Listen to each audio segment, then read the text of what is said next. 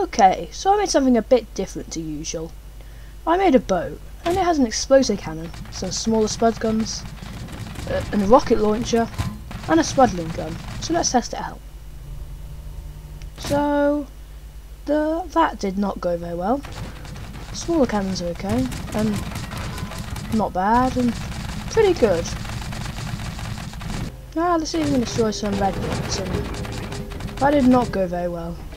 Now let's see if we can destroy some tape bots. So I'm just gonna not bad.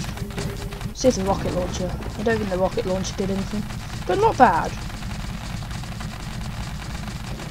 Now we're gonna see if we destroy some red tape. That did not go very well. We got destroyed. Bye.